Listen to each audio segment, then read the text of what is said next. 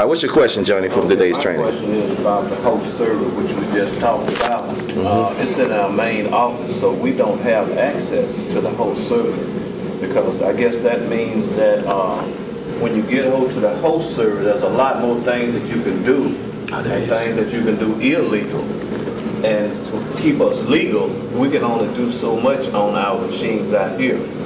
So uh, that's, that's what I was wondering about the host server. You know, it's, it's on lockdown, isn't it? So you saying they, they can, uh, go in our computer station and. And see what say we're that you- doing. Yeah, they say can that go in, You yeah. doing this and. Go in and they out. in and say you did this. They know who did Like, what. that- that- that- That's how, you know, you got to really look at, uh, That right. uh, how Red Cross and things like that, like my bank account.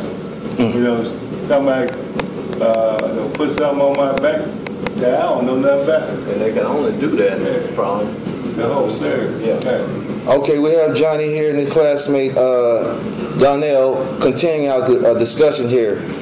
Uh, at the end of class today, today being November 7th, that's our finish date, December 13th, and the new classmate Danielle said that stuff can happen on a host server that is illegal.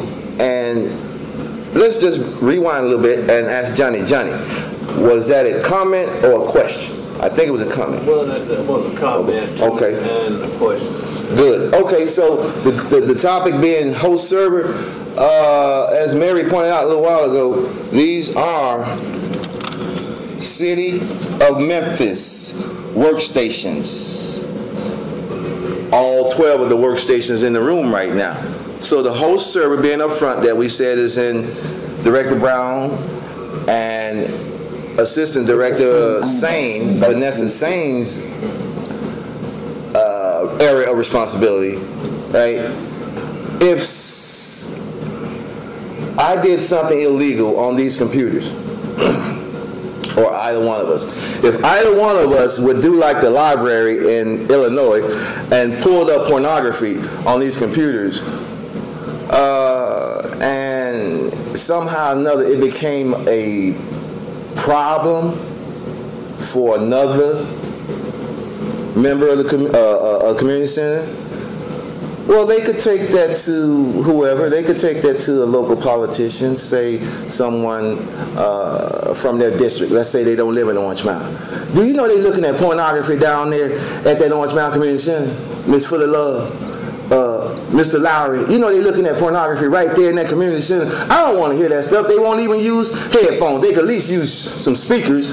They down there looking at pornography at that Orange Mound Community Center. I bet they're not doing that at McWhorter. Well, all the computer workstations under the city of Memphis belong to the city of Memphis.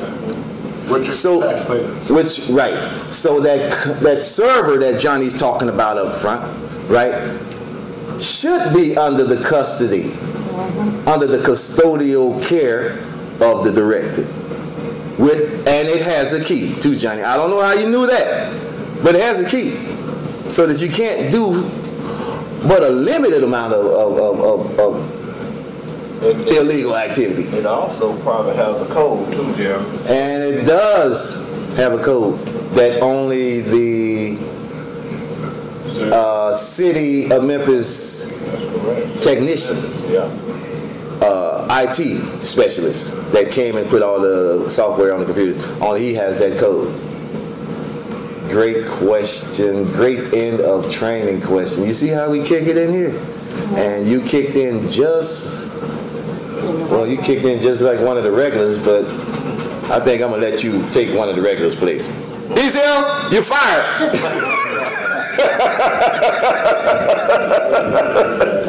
oh boy, we can't let Ezel see this one. Now see, I I can take